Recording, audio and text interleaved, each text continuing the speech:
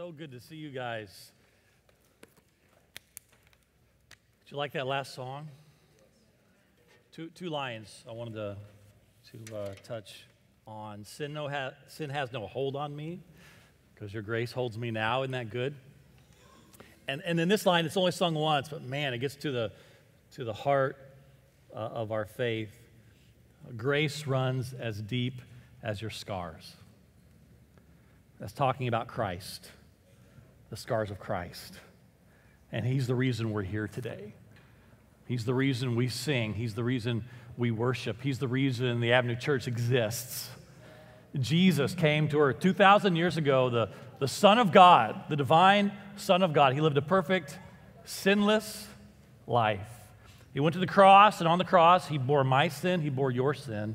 And it didn't just bear our sin, He, was, he received the full wrath of God poured out for your sin and my sin. And then he rose from the grave three days later. And because of who he is and what he did for us, we can receive that grace that grace of forgiveness, that grace of healing, that grace of life abundant and eternal. That's awesome. Amen? Amen. That's, that's uh, why uh, we are here. My name is John Hix. If, if uh, you haven't seen me yet, um, I'm not Casey. You're like, like who's this guy? I, I thought there's this. No, I'm, I'm not him. I'm a, a new pastor at uh, the I'm the care and discipleship pastor. I've been here all of, uh, I don't know, two months, two and a half, oh, two and a half months. So uh, really new, really, really uh, green, uh, if you will. And uh, Casey and I are, are a little different, just a little. Why is that so funny? Why? You guys, well, he, uh, for, for example, um, he's got a really cool name Casey Cleveland. Good, good job, John, Don and Becky. Great, great. My name is John Hix. I, I really hope my mom's not watching on, on a live stream today. Um, I love my name, Mom. Where's the camera? Is that the camera? I love, love my name, Mom. I really do. I really do. Um, Casey, uh, let's see what else. I have a long list, but I'll, I'll shorten it. Um, he dresses really cool.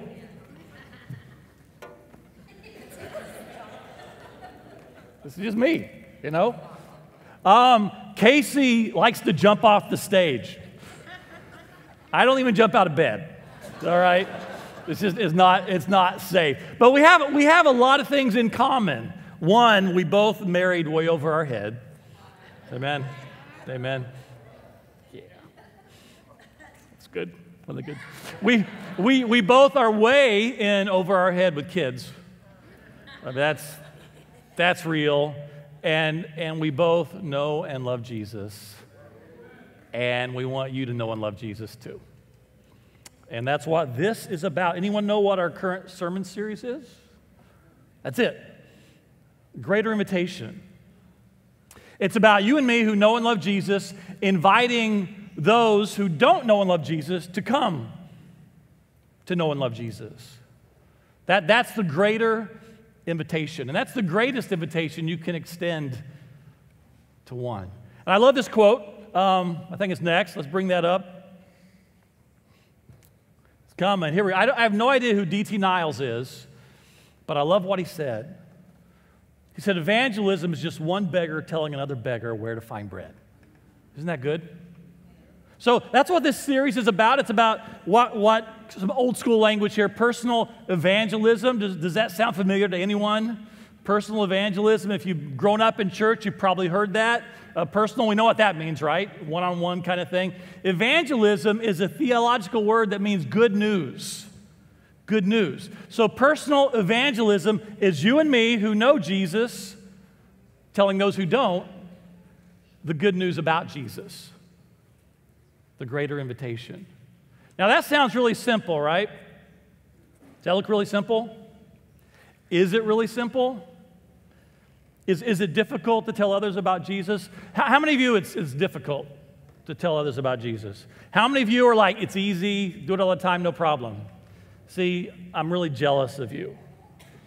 Uh, my wife just raised her hand. You know, I'm really jealous. For, for a lot of Christians, it's, it's so hard to go tell other people about Jesus. And so this series is about um, encouraging and equipping us so we can do that better. And Casey's brought some great messages about that. He's talked about our story and, and how, how the gospel story comes into ours and Jesus becomes the hero of our story.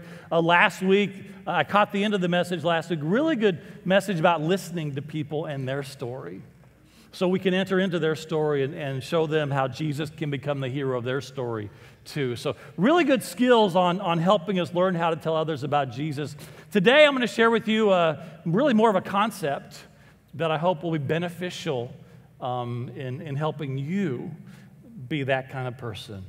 One beggar telling another beggar where to find food. So, our scripture today is in the uh, book of Luke. If you have your Bibles, whether you prefer paper or plastic, you know, your phones, uh, pull up your app or open your scripture to Luke chapter 5. It's in the, in the New Testament, or you can look on screen here. Those will be the, uh, they'll be up there too. But the title of this message is Food, Friends, and Jesus. Food, Friends, and Jesus. And our scripture is Luke 5. So I'll give you a chance to uh, get there. When you get there, say amen or, or winner or something. All right. And if you're just looking, you beat all of us there. So Amen. good job. That's right. Yes. Luke 5. You guys ready? Down in verse 27. After this, Jesus went out and saw a tax collector. Everyone say boo. All right.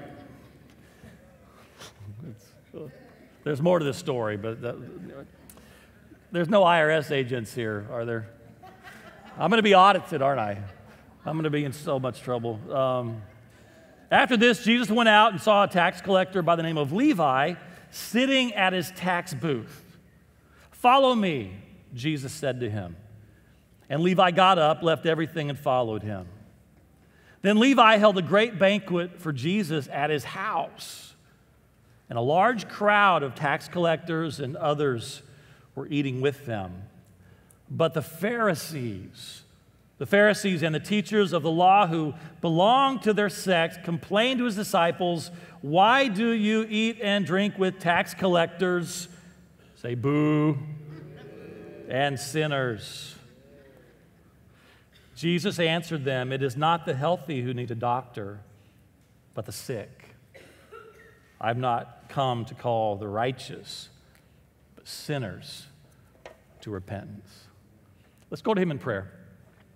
Father, we thank you so much for this opportunity to gather today. I, thank you for the, the gift of, of song and music that, that helps us uh, join our, our heads and our hearts in, in worship to you. And, and we pray that your Holy Spirit would continue to fill this place. And, and may you be our master teacher today as we look at your word. Lord, I pray you, you would speak through me and also in spite of me, uh, touch hearts here, change lives. Um, I pray for those who don't yet know Jesus that they would come to know Jesus. And Father, I pray that all of us would step out and start pointing people to Jesus for your glory. It's in Christ's name we pray. Amen. Amen. All right. Um, if you if you have your little program thingy, there's a place to follow along in there with notes. Um, that, that's a helpful guide. Um, if I wander, it keeps me on track. If if, uh, if you get confused, keeps you on track. It's really helpful. Um, those same notes will be on the screen with, with blanks filled in. Um, as I, as I you know, worked through this passage uh, this week, I, I, I, went back and forth on how best to organize. I like to organize things, so, so it makes them you know, clearer to me and, and hopefully clear to you as well. I decided to break it up into two main headings. The first heading, here's the, ready, this is a great heading. You ready? Point number one background. Is that genius or what? Background. And so, everything under point number one is some really important background about this passage. There's so much stuff in here that, that it's when we understand the background, it's like, whoa, this is amazing what's going on. So, I want to make sure you get the background of this passage. And then we're going to come to point number two in a little bit. Any guesses what point number two is? Application. Is that awesome or what? I worked long and hard on those headings. So, background, I want to give you the three areas under background. We're going to look first of all at the religious leaders. The religious leaders. Uh, they were the Pharisees and the teachers of the law and, and some, other, some other people. When we think about religious leaders today, who do we think of? Like preachers, teachers, priests, maybe the Pope, you know, guys like you know, Billy Graham, you know, religious leaders, okay? A lot of these leaders are awesome. Some, you know, there's some also not so hot religious leaders out there. Well, the religious leaders during that time were not the best. Any fans of Saturday Night Live here? Remember when it used to be funny back in the 80s? You remember?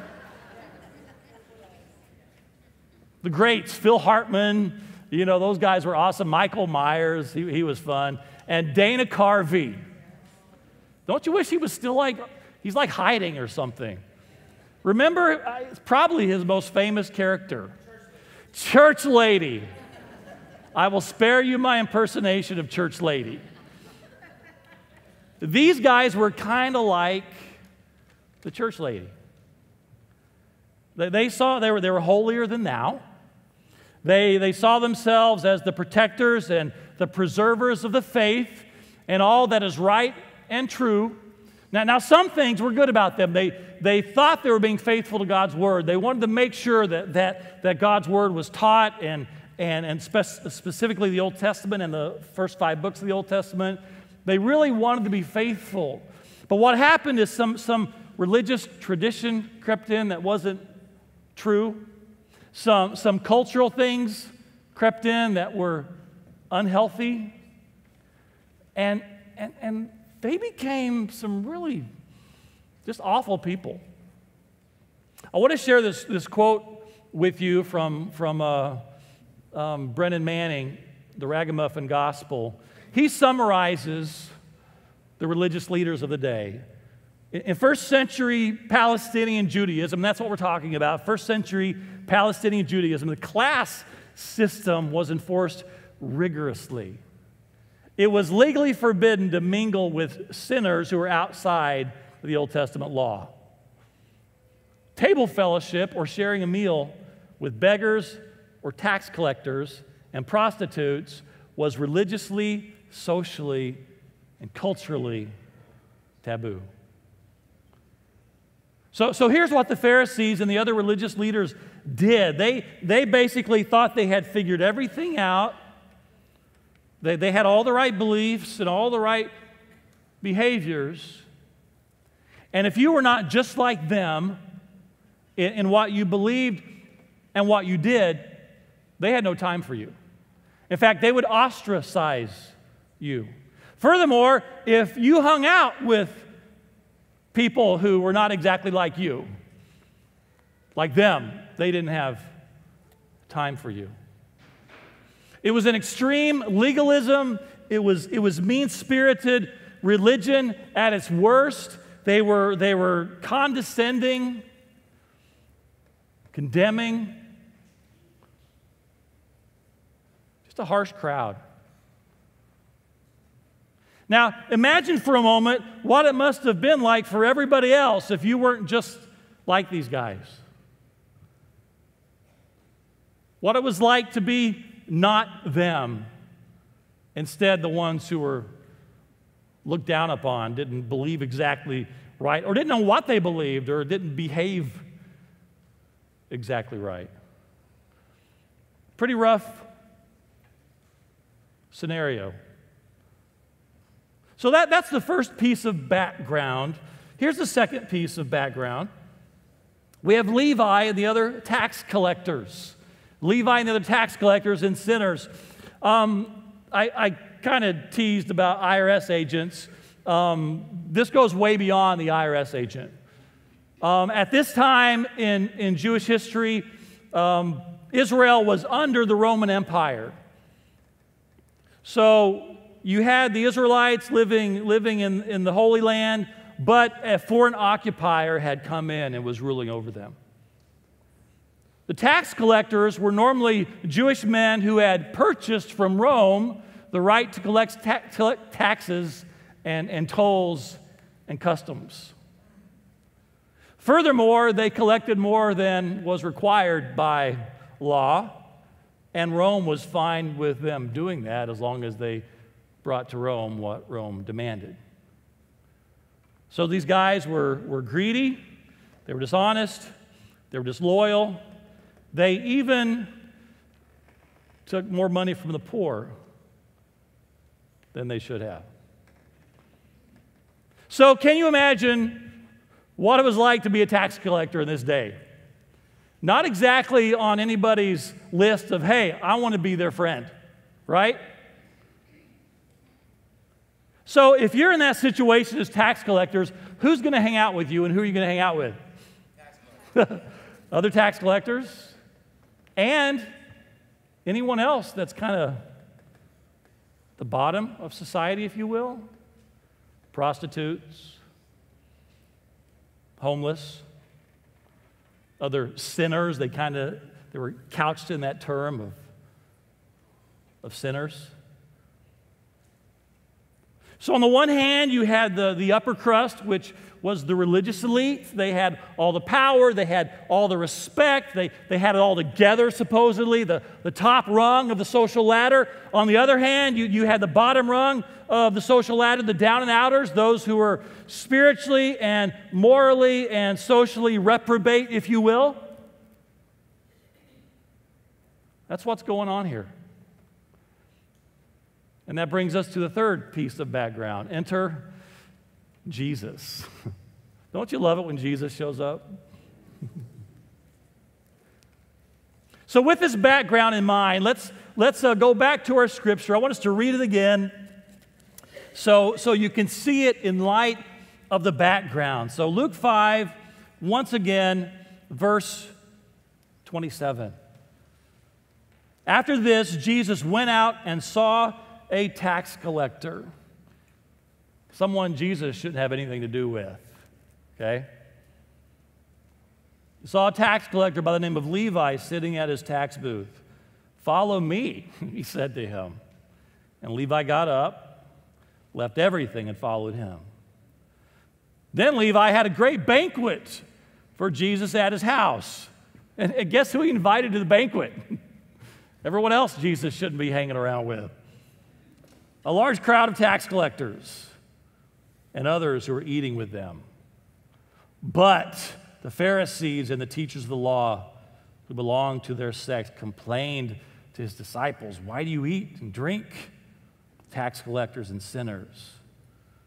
And Jesus answered them, It is not the healthy who need a doctor, but the sick. I have not call, come to call the righteous, but the unrighteous to repentance. Notice what happens here. First thing, Jesus calls Levi to follow him. Okay, this, this was a very specific, unique call. This was not like you and me saying, hey, let's, let's go, you know, grab a bite. This, this was Jesus calling Levi to be a disciple. Jesus was a rabbi, okay? A teacher, esteemed. And so, rabbis in that day, whenever they called someone to be the disciple, their disciple, they chose the cream of the crop. Was Levi the cream of the crop? No, he was sour milk. And Jesus said, Hey, come follow me, be my disciple. And that so moved Levi, his heart, that he's like, You bet. And he left everything to follow Jesus. But it didn't start, it didn't stop there. Uh, Levi went and threw a party for Jesus. I love this part.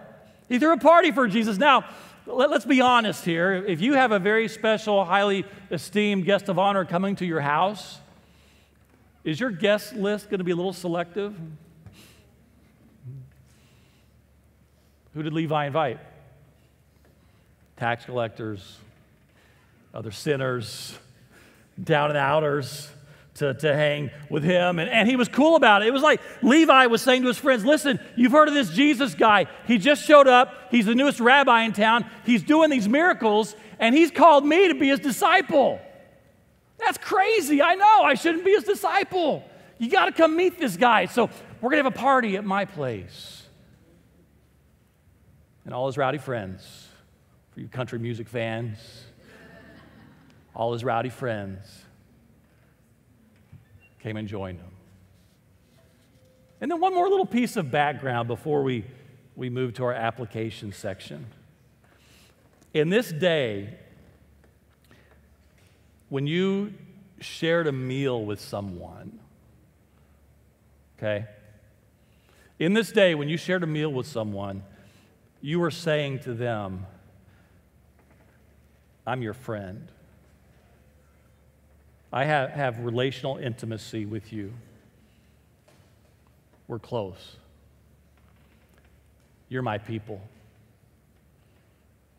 And so, Jesus, by accepting the invitation to Levi's place, and, and, Jesus, by staying there with all that rowdy crowd there, he was saying to them, Hey guys, I love you.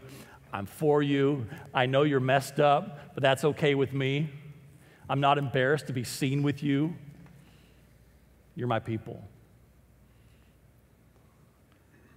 And that explains why the Pharisees were like, Who is this Jesus? How can he do that? So that's the background. That's just the background. Is there, is there some good stuff in the background? There's a lot of good stuff in there. So let's start to unpack it. Point number two. Here we go application. Application. Number one, number one under this. We all need Jesus. We all need Jesus, no matter how righteous or unrighteous we think we are. How many of you, as I described the uh, Pharisees and religious leaders, were getting a little ticked off at them? Anybody getting ticked off at those guys? Yeah, I was. Uh, as, I, as I prepared, and studied, and soaked in this, I'm like, these guys are the biggest jerks.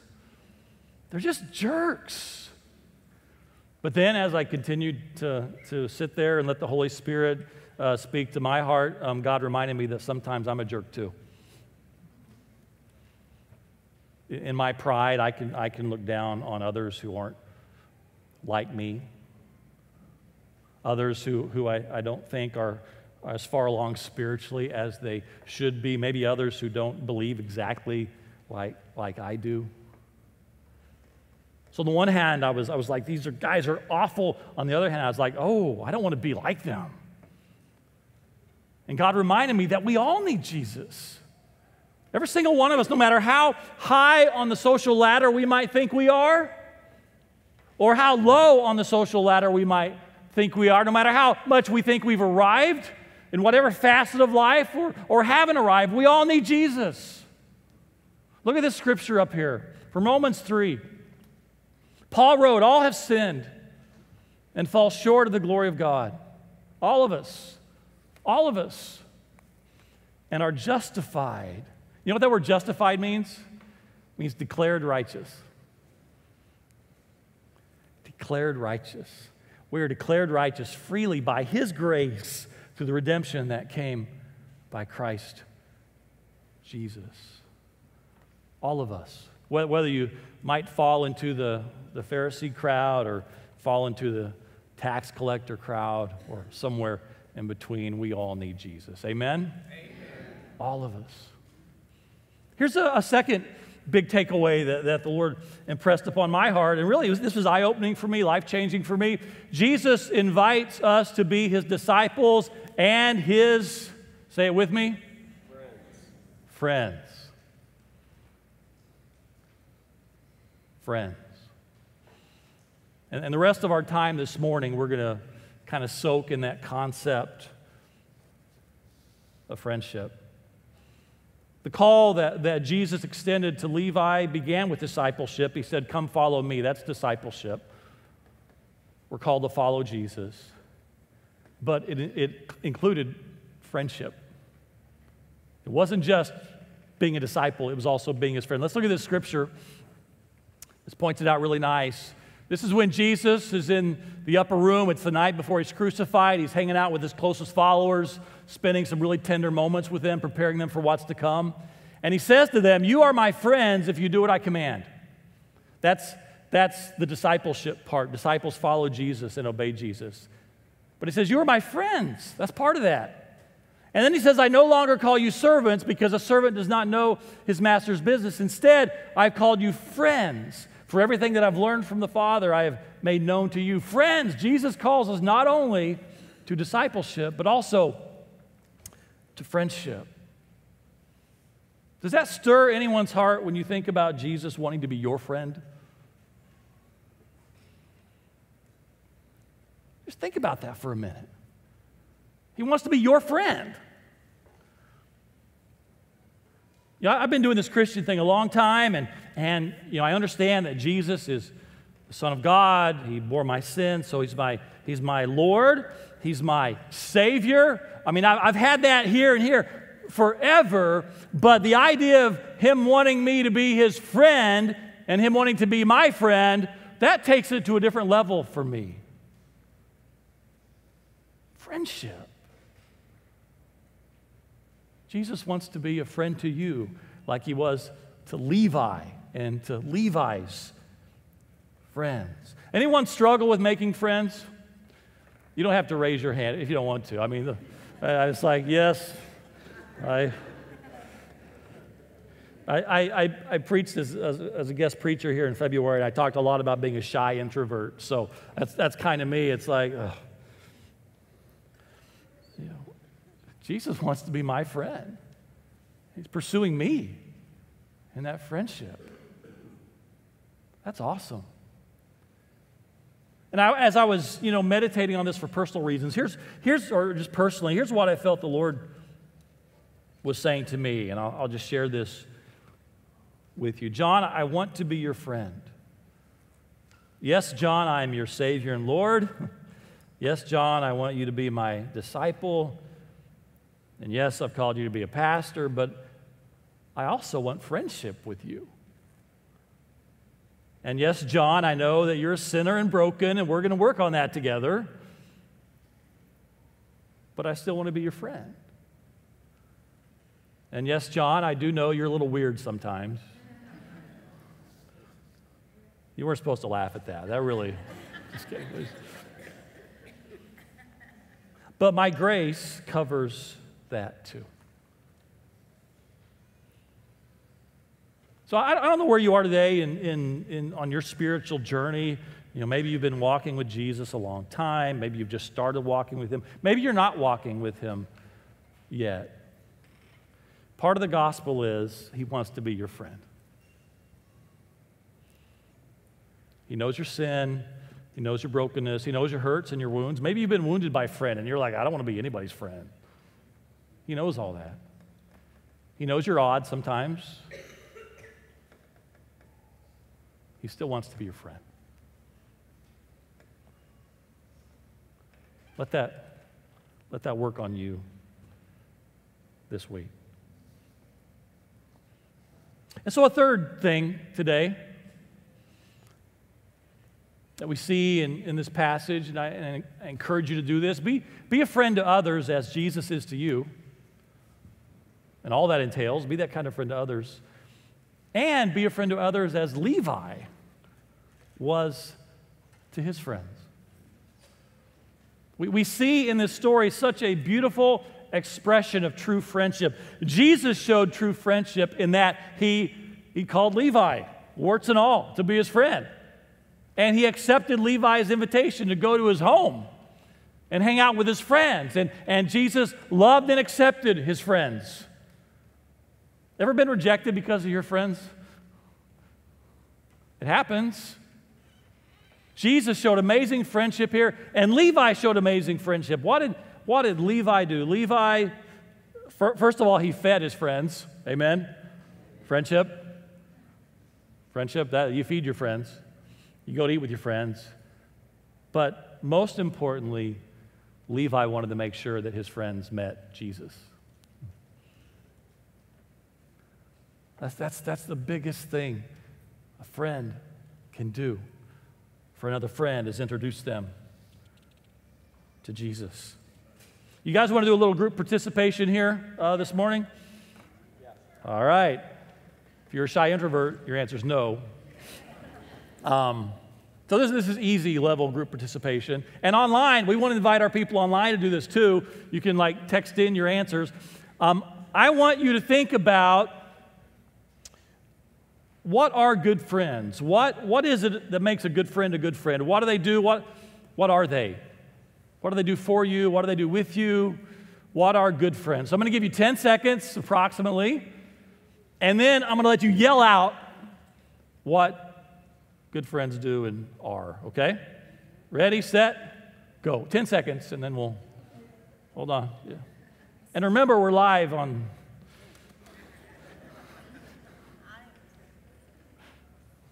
I'm really not keeping time. I lost track, but it's, it's almost been 10 seconds, so I think we're there. Good friends, what are they? What do they do? All right, good. I got all that. Okay. I should have said one at a time, but how do, how do you do that? So think you've got the idea. We know what good friends are, right? We know what good friends are.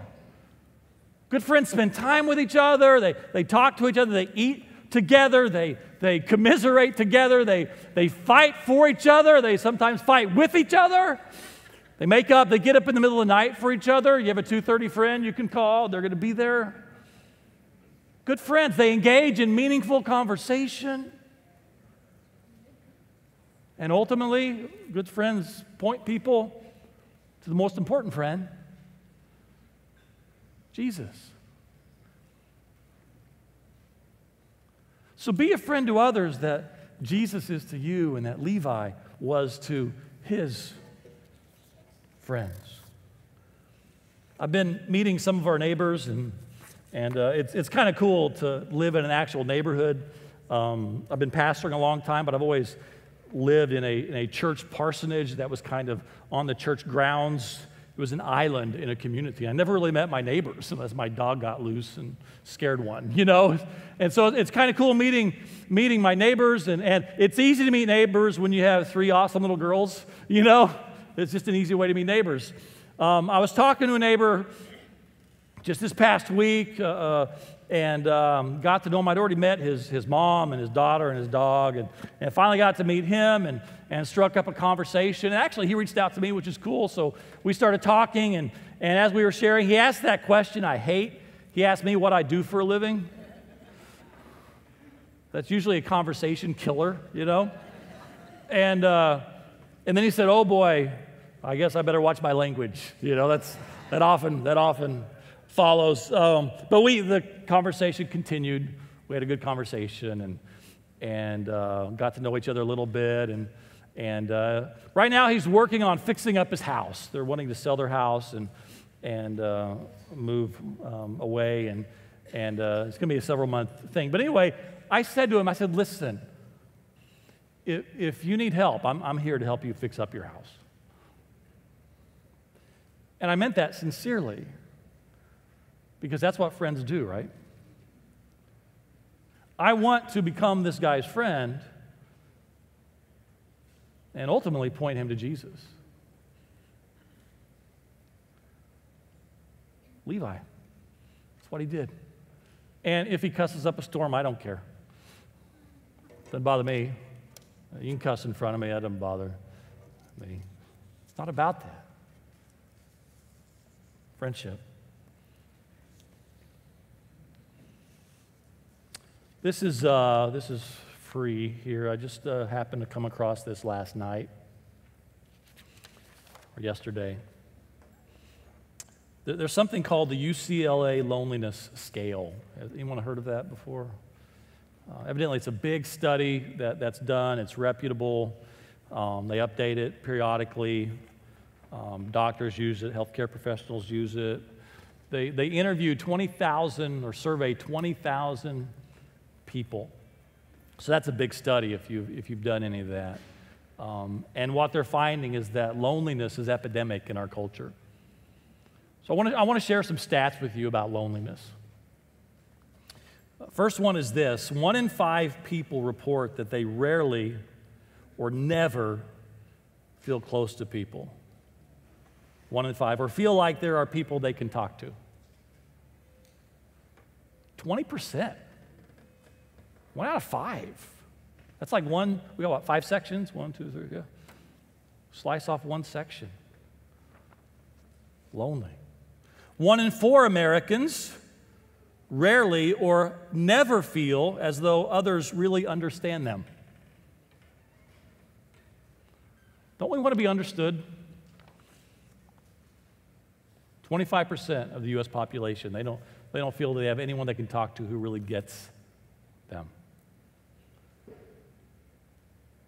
Two out of five Americans sometimes or always feel that their relationships are not meaningful and that they are isolated from others.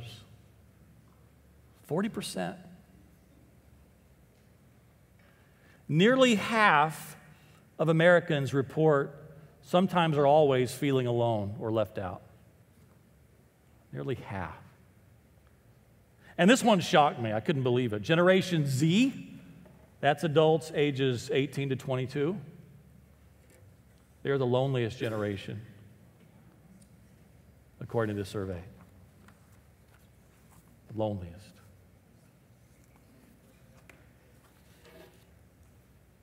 Translation What an opportunity we have to befriend those who are lonely and to point them to the greatest friend they'll ever know. Amen? Amen. Amen. So, do you know someone who doesn't know Jesus?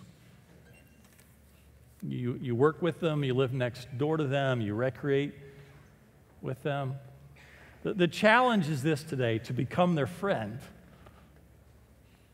a real friend. A real friend.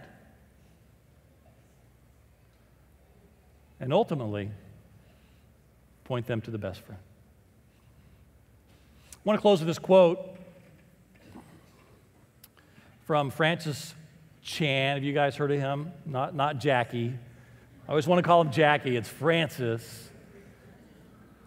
He's a, he's a uh, well known speaker, leader, writer, pastor in, in Christianity. This is a quote that haunts me in a good way. He says, Our greatest fear should not be of failure, but of succeeding at things in life that don't really matter. So, and I, I would modify it succeeding at things in life that don't really matter eternally. Th- think about the Av. I love the Av Church. I'm so glad to be here. It's, it's refreshing for, for me to be on staff with, with just a great group of guys and gals and, and, an awesome church. You guys are awesome. And I love what the Av does. I love the culture of the Av. When, when, when Allie and I started dating, she was on staff here, and, and uh, I wanted to you know, see what kind of church she was a part of. And so you know, I studied the culture of the Av and, and all that the Av is involved in just to make sure she wasn't crazy. And, and uh, I learned she is crazy, but it's a great church. It's a great church. And, you know, she married me. That's crazy. I, uh, so I, I, I you know, learned everything I could about the Av and saw the things that the the Av's involved in, the ministries, the, the culture. I'm like, this is awesome. We're, we're, we're church, we're doing so many things, and we have such a, a neat culture that's unique and so life giving in, in so many ways. And, and the most important part of that, that we must never lose sight of, the, the, the thing that matters most, is pointing people to Jesus. That's the why, the ultimate why of the Avenue Church Jesus. Amen? Amen. So today, as we close, I want to invite the, uh, the prayer partners to come up and the worship team to uh, come on up. We're going to have our time of um, time for you to respond and a time for you to receive prayer. Here's, here's my greater invitation to you today, okay? It's, it's threefold. One, if you need prayer for anything, come on up. Our prayer partners want to pray for you, pray with you. Okay, so that's number one. Number two, if you haven't received Christ into your life yet, he, he's calling out to you as he called out to Levi to, to come and be his disciple and also be his friend. If the Lord is stirring in your heart, come forward, talk to the prayer partner, say, Hey, I, I want, I want this Jesus guy in my life. And then, number three, will you commit today to be a friend to others? as Jesus is to you and as Levi was to his friends. You might want to come and ask for prayer in that. Pray for holy boldness, courage, wisdom, opportunities. Let, us start a, a Jesus friendship revolution in our town. So let's stand. Let me pray for us one more time, and our prayer partners will be up here. Father, thank you for this time. I pray that your spirit would continue to move in our hearts. I pray for those who don't yet know Jesus that you would, you would draw them to yourself, continue to pursue them. And Father, I pray for all of us who, who do know Jesus that you would, you would compel us to befriend those who don't, that we might introduce them to you for your glory. In Christ's name we pray. Amen.